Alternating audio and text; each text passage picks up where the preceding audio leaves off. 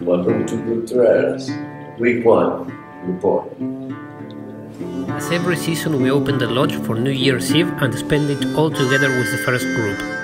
David and Sarah joined us again, this being their 10th time. Dinner and New Year's Eve felt at the same time like a great celebration for a new season and with it, a new migration of these strong sea-run browns. River conditions were not easy, unusually low and clear for this part of the season.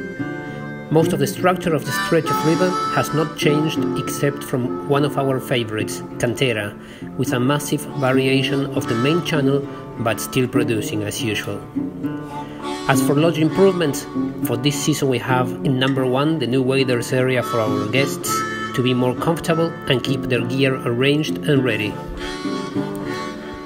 With strong winds and warmer temperatures, on the beginning of the week and a sudden change after a couple of days, the expectation for a push of water and a little rise kept everyone focused. Still, a good number of fresh sea trout has been spotted all over. The team relied on the single handers during those sessions with less wind to get better presentation and improve the chances of tricking these shy fish. The total of sea trout landed was 40 as every time river gets low and clear, using thinner leaders and smaller flies gives a better chance for the fish to escape. In this case, at least another 50% of the sea trout were lost in the fight.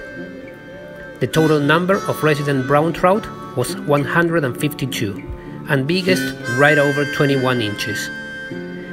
David got this week's biggest sea trout, a gorgeous 16 pounder in Barranca Blanca, and he was also top rod of the week with 10 sea trout landed.